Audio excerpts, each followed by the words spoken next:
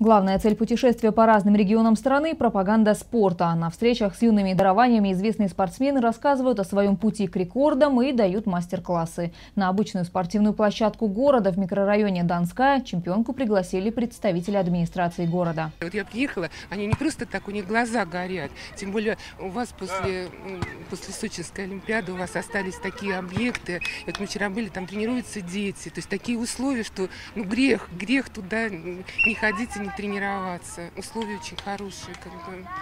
И вообще вот э, мы были на приеме вашего мэра, он молодец, то есть он настолько любит спорт, и он заинтересован, чтобы вот именно э, все дети, вот детей в разных уровнях привлечь к занятиям спорта.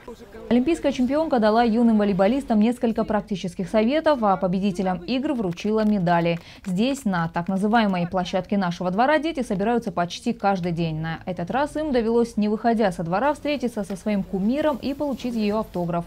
Напомню, что 119 организованных спортивных площадок построили в этом году по поручению главы города. Обычные дети под руководством тренеров занимаются на них футболом, волейболом и другими видами спорта.